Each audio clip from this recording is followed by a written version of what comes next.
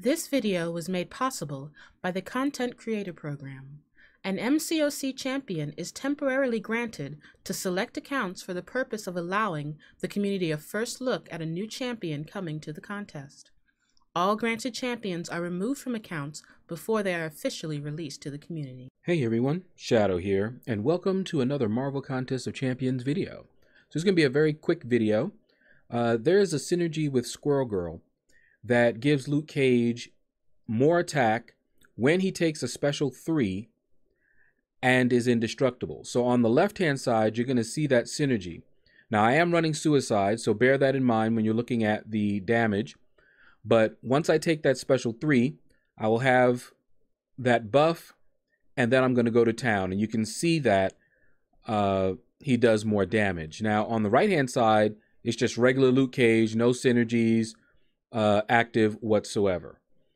Now, my alliance leader asked me to do this test because he was wondering, and I think a few other alliance mates were wondering as well, whether it was worth it to take Luke Cage up past rank 4.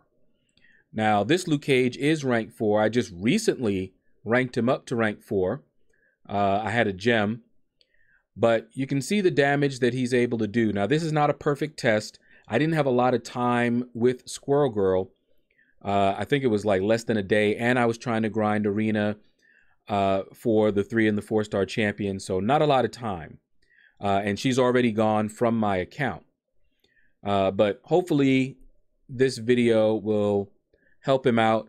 Now, in my opinion, I don't really think that the synergy makes him worthy of a rank five personally. You know, it's only when he's indestructible, taking a special three, that indestructible is on a cooldown. And I mean, the damage is great and all, but not that much. Now, I may have messed up in this particular test, but you guys can see the uh, comparative damage numbers. In order to do a test like this properly, you really need to do many tests, you know, not just one. But in any case, that's my take on it. Hopefully, it'll help someone out. Uh, click like, subscribe, leave a comment. Let me know what you thought about the video. And you all have a blessed day.